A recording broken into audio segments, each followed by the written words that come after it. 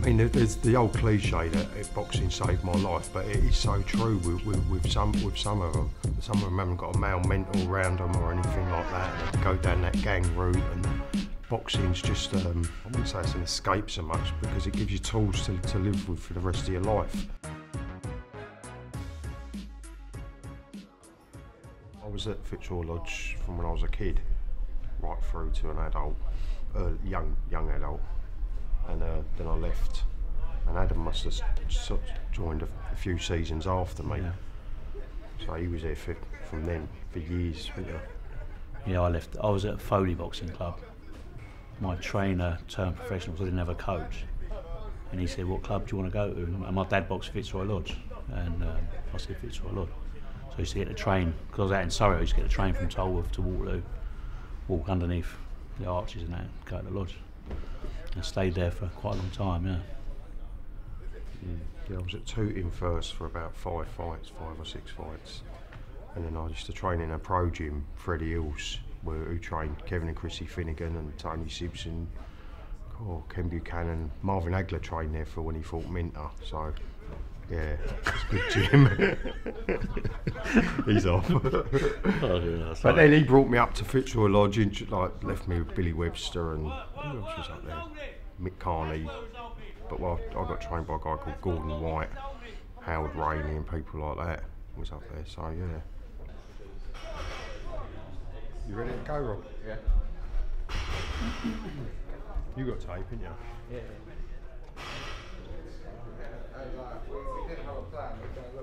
He went, he went into London with his girlfriend and had a nature book. Fitzroy Lodge for me, it was like a family being there. It wasn't like any other gym I've been to. We um, all the boxes we went on holiday every year together. We went, done everything together. You know, it was a um, proper family. Still mates now. All this. Yeah, I'd, I'd, I'd, sort of like left Fitzroy Lodge, um, but I wouldn't. I was probably gonna give, give up boxing because um, I wouldn't go to another club. I, my heart was in amateur boxing. I'm at Fitzroy Lodge or nowhere. And Adam rang me, we was talking, and he said, well, do you fancy having a go to the pros? So I got him at the lodge and I went to go pro and all. Mm. Which was, which was probably my style of training is probably is more suited to the pros. I would, you know. Yeah, I'll be, I'll be on it. I'm just how it is. I'm not just saying I wouldn't have took him from the lodge if he was happily coaching there. I knew he'd had a break and all that. I knew he weren't going there. I didn't poach him on. I think all right, Caswell. I think I poached. post. Give me a five and a Mars yeah. bar.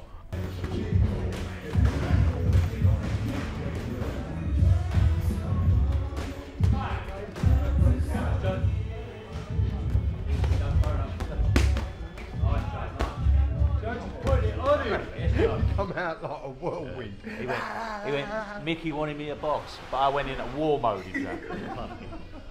I was going to throw the towel in.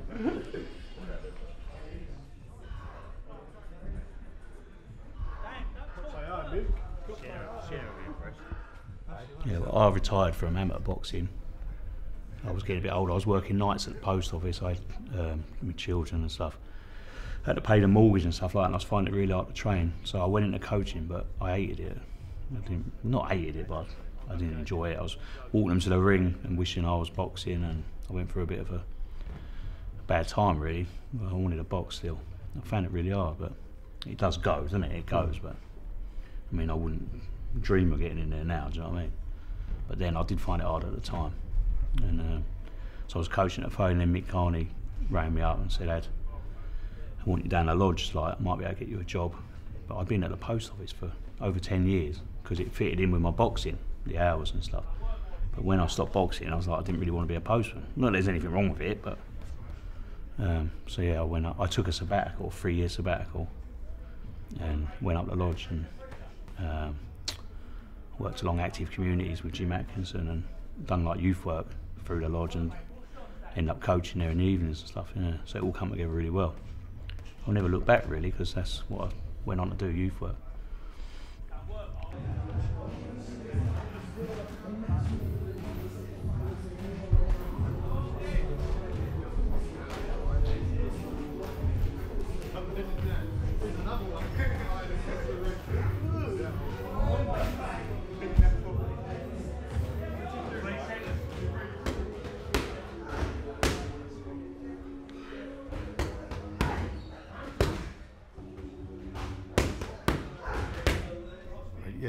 Just so lovely being able to transform some of these kids, and even the kids that were never going to box, they all got my time. You know, you don't you don't just.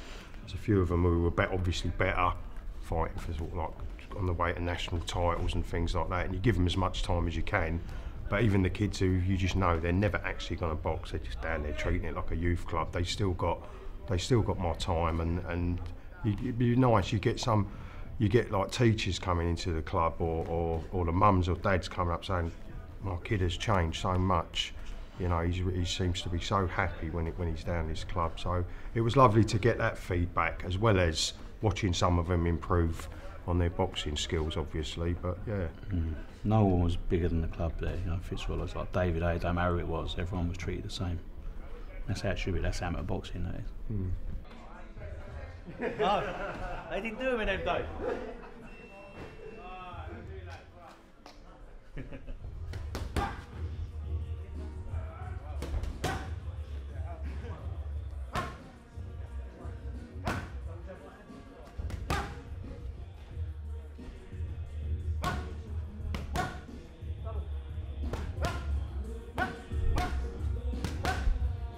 when we used to take kids to shows and we and we go into you know you go into a cafe or something for something to eat and you know they get they, they see you saying your pleases and your thank yous just good manners and some of them are not used to that they don't they don't mm. see that so having that environment um, it's, it's, it's, it is it is a sort of lifesaver for some but then you get others who just love boxing you know they're not they're not into gangs they was never in trouble or anything like Jermaine you know he's come from a good family good school yeah um, you know, it's it's, it's it's, it's all shapes and sizes, and there's there's no um, uh, how can I put it? Uh, you know, all, all the you know anybody. There's, no, there's none of the racism. There's none of the, the you, you, know everyone's just you're just a you're just a club mate, and you, and you, you become best mates as well.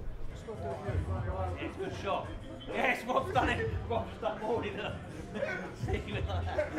There's kids even at Fitzroy Lodge who are never going to go on to be professionals, never go on to box at a high level, but who are just part of the family as well, and you can match them, match them, you know, accordingly to their what they're like, their experience, and all that stuff, and get them through it, and they can enjoy it as much as someone who's right at the top. Mm. You know I mean? It's for everyone. Amateur boxing, we're professionals, obviously not, but amateur boxing is for everyone. You normally notice it when they spar that's that's that's the sort of crunch thing. Like they come in, and you can watch it in their training. If they if they're giving up in training, then they're going to give up in the in, in, in, the ring. So you, you can see the ones that you know you can get the kids that come in and, and you know for want of a PC world, they're they're overweight.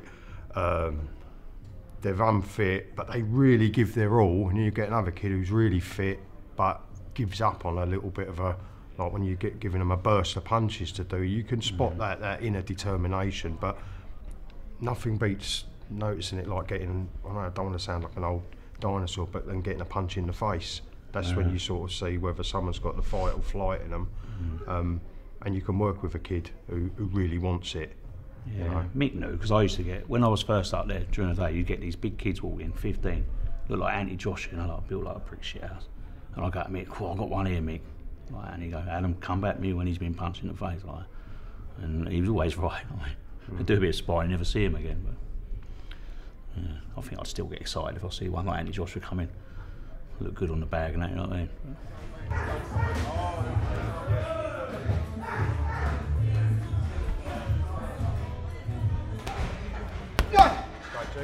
Sit down rather than lean forward, yeah?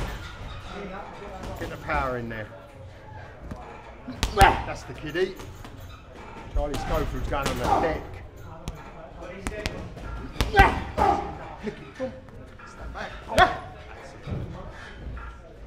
Bury him up.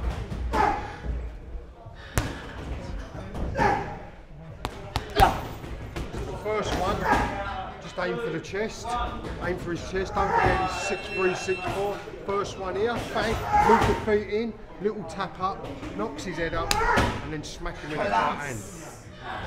Anyone going pro should go into a pro gym and watch how the how the big boys train, give you an idea of what it yeah. takes to get to get to them high levels. So that's all good. Yeah, we got we got a young lad, Robert Caswell, just starting out. He's had one pro fight. Lives in Chatham. comes to us. His first day here, he had a move around Michael Collin and got done with a body shot. We won't see him again, but he's come back. Mm. Come back continuously training, won his pro debut. They're all like, you've got to be tough, isn't it? You wouldn't believe he was tough if you see him. Looks like a choir boy, but Yeah, it looks like yeah, it looks like a he's tough. student. Yeah, yeah. And then we've got Romario, who's, who's just turned pro with us, and he's he's hard though. Romario, He's talented, kid. Yeah, talented. little welterweight, um, can back, can punch. And he holds his own in sparring with, with all the with all the other boys, with Harlem and everything like that. So Yes, we're still taking new ones on. So they're starting the journey, aren't they? So Jermaine's like the one they're looking up at, really, isn't it? But they all go Yeah, running. so our stable, our pro boxers, um, they're all on what you call ticket deals, so they're all on small shows at the moment. So they have to be so strong willed and have to just stick with it. A lot of them, I say Daniel Morley, he's on the verge of getting signed now. So I think they see what Jermaine's done, they realise they can do it. They just got to stick with it. But people don't realise how hard it is for these lads to go from ticket deals to get on telly. It's so hard. He, he's probably not earned a penny in his first 10, what, 9 or whatever fights it was. You know what I mean? To get there. It's so hard for him to keep going. You see, so how many do you see start and they don't don't go through it, do they? no, no. Yeah, it's not easy. You've got to be right strong willed. Especially if you don't sell loads and loads of tickets. Yeah, yeah, that's that's the that's the hard, harsh reality of professional boxing. That's why when people do come to to Adam and um, talk about inquire about turning professional, he always sits them down and tells them the absolute truth. Yeah, I'll try and put them off, really. Yeah, Because then they can't, you know, in a year's time go, fuck, you know, I didn't realise it was like this, you know what I mean? yeah, yeah. Because it is a crap sport, really. It's horrible. that side of the that side business. is horrible. Yeah.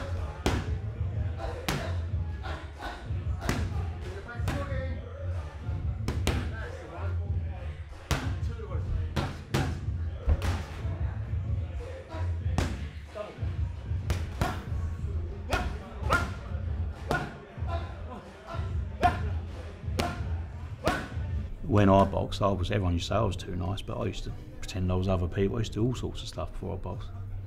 Yeah, I used to get in there. It is, you can do it. It's quite easier. Hmm. I mean, Mick was never nice. Just getting in there and bite people. but he'd do that outside as well, see, on the way to the ring. I was what was known as a hungry fighter. Yeah. I used to talk. I used to talk to all my opponents. My dad used to go, "Why are you talking to him? You're boxing him." I was going, well, "I like him. You shouldn't like him. You have got to hate him." But I didn't really have that in me, that. But I still want to beat him when I get in there. Don't I? Yeah, yeah.